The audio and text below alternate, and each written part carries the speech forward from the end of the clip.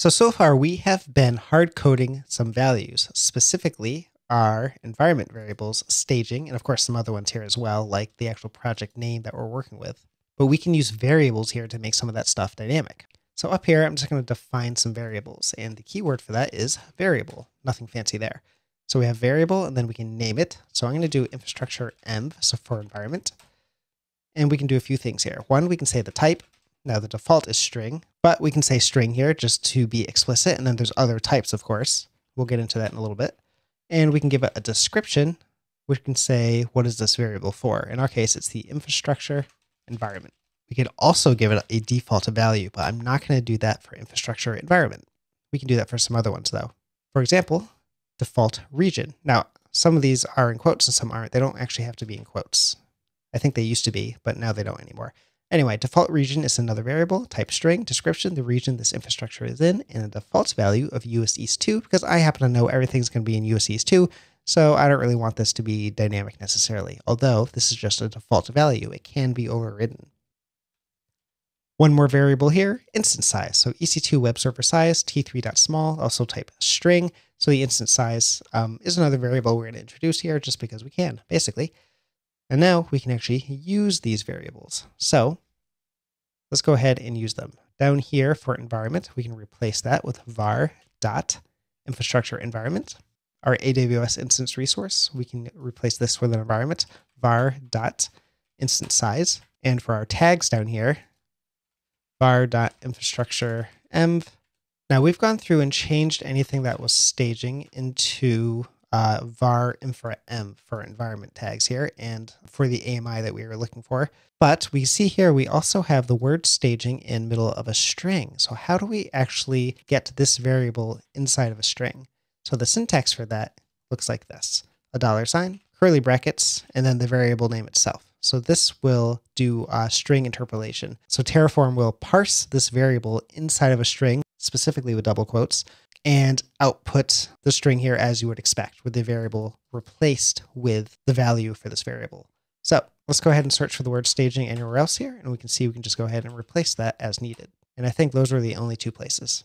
So we can go ahead and see if we changed anything. Okay, so let's do Terraform plan, and I'm not going to pass it any flags. You can see here that we have a variable infrastructure env that has no default, and so it actually prompts us for that.